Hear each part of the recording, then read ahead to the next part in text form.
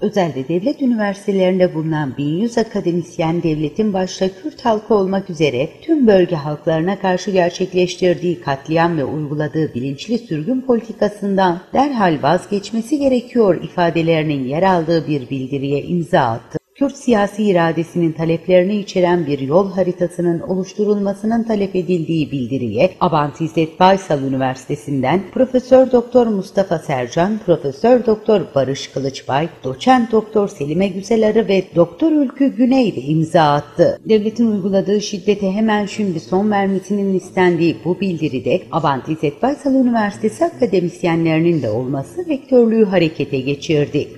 Rektör Profesör Doktor Hayri Coşkun bu bildiriyi hiçbir şekilde kabul etmek mümkün değildir diyerek devlet için planlı kıyım ve katliam gibi ifadelerin geçtiği böyle bir bildiriye imza atanlar hakkında gerekli soruşturmaların başlatıldığını söyledi. Coşkun devletimize karşı bu türden yaklaşımları asla kabul etmeyeceğimizi ve gereğini de yapacağımızın bilinmesini isterim dedi.